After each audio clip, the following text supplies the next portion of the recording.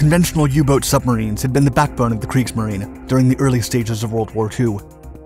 Still, as Allies developed more prominent and more powerful fleets, the outdated German submarines drastically lost the battle. Karl Dönitz, the supreme commander of the Kriegsmarine, knew that if they didn't attain maritime supremacy in the Atlantic, Germany would lose the war. Quote, Only a U boat which no longer needed to surface in order to recharge batteries, and which had both high speed and long endurance underwater, could improve our prospects in the battle ahead. Dönitz's words were more than wishful thinking. By 1942, the unprecedented submarine he described was already being developed with the utmost urgency, and Hitler himself overviewed the development. The Type 21 submarine became a Nazi wonder weapon developed in the latter stages of World War II, one of only a few infamous Wunderwaffes actually built. It is also credited as the first real submarine in history, as previous U boats were designed to submerge only during short periods and had to resurface constantly to recharge their batteries, making them easy targets for Allied war efforts and considered mostly as submersible ships. In contrast, Type 21 was the first vessel in the world that could stay underwater indefinitely while reaching unparalleled depths, revolutionizing the way submarines were developed from then on.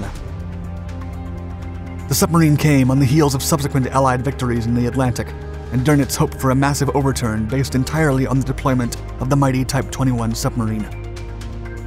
It was now a race against the clock, and the only shot the Nazis had at winning the war.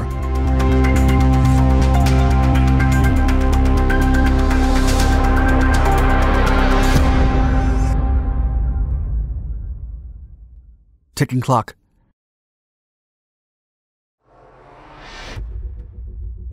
World War II was defined by the Battle of the Atlantic, as the Axis powers had to cut off Britain's naval supply lines from America, and the Allies had to defend them at all costs. If Hitler could starve Britain from war supplies and avoid the US from entering the war, Europe would fall. After successfully conquering France, Germany achieved free access to the Atlantic, deploying its furtive and fearsome U boats to wreak havoc on Allied supply convoys. The deceptive vessels proved to be a nightmare for Allied mariners at the beginning of the conflict. However, not all events unfolded according to the Axis plans. Thanks to the fantastic efforts of the Royal Canadian Navy, Germany was unable to quickly isolate Britain from its resource lines as it had planned. As pioneers in the technology, the Germans had been using submersible U boats since the dawn of World War I. The unique capabilities of their ships gave them an enormous advantage in sea warfare for over three decades.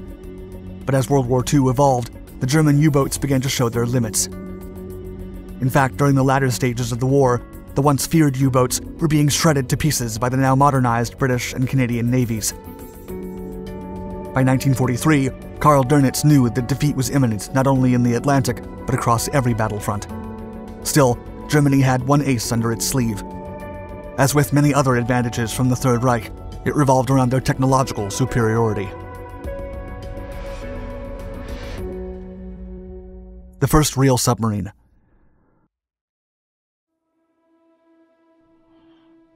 Due to their vast experience with submersible vessels, the Nazis spearheaded the world's innovations in submarine technology, and research into the technology necessary to develop a submarine capable of staying underwater for more extended periods had been a priority for German scientists for several years.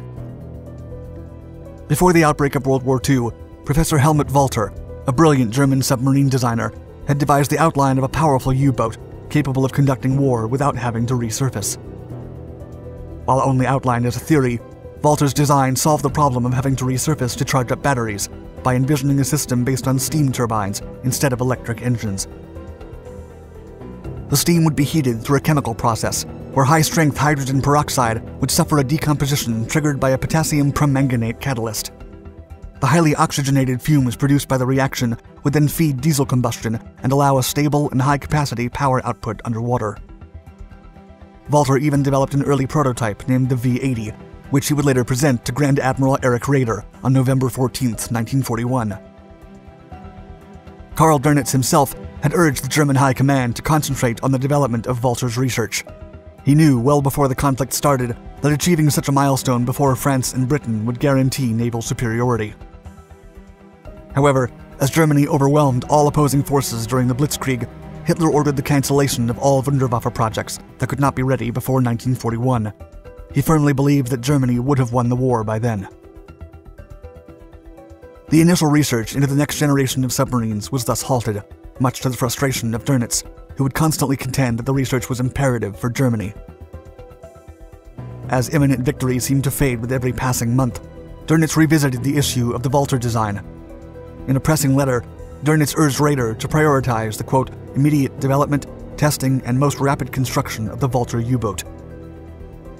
Alas, his pleas were ignored, and the wonder weapon design was shelved. However, as history would show, Dönitz was hardly an irresolute man.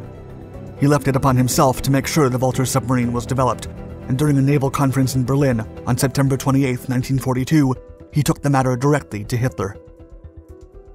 After a persuasive presentation, Hitler was convinced that the Walter submarine would play, quote, a decisive role in the outcome of this war.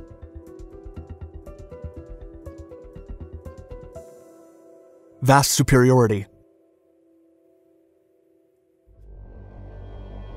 With the Fuhrer's approval, expedited production of the Walter Type 21 U boat finally began. The production advanced at extraordinary speeds. In October of 1942, Walter presented the Type 21 specifications, and a month later, he gave the basic model to Dönitz and other German commanding admirals. The groundbreaking vessel was designed to house two 6,000 horsepower turbines and two colossal 2,000 horsepower diesel engines to achieve underwater speeds of over 18 knots. In addition, compared to the mere minutes previous U boats could stay submerged, the Type 21 could traverse underwater for up to 75 hours without having to resurface. The submarine's capabilities also included safety from aircraft due to her underwater permanence, enough underwater speed to outrun most ships, an innovative hydraulic system to reload torpedoes automatically, and possible diving depths of up to thousand feet, placing the U boat well beyond the reach of depth charges. With such incredible advantages, Dönitz was confident that Type 21's deployment would be a turning point for the war.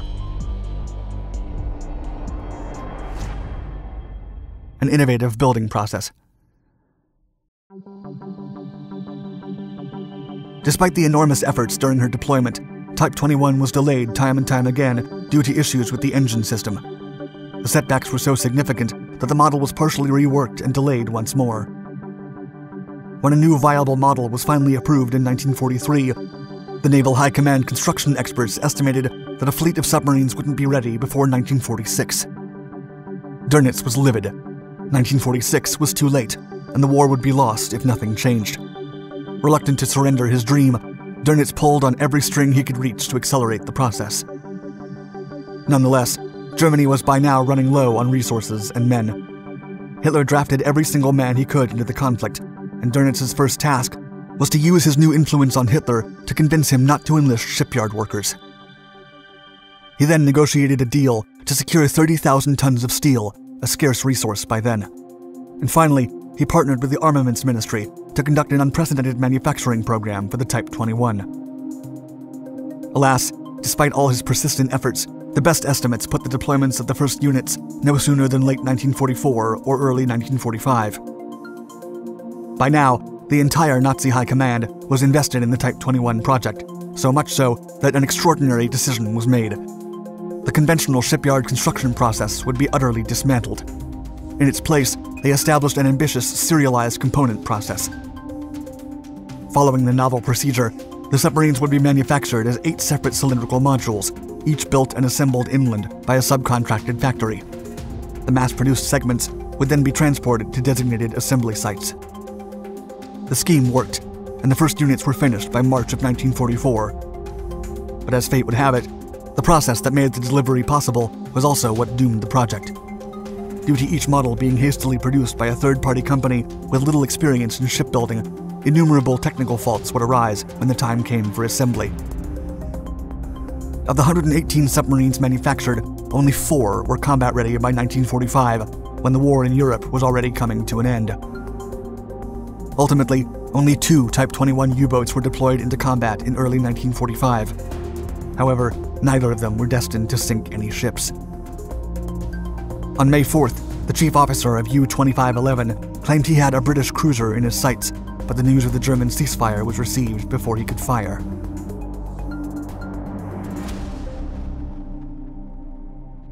What if?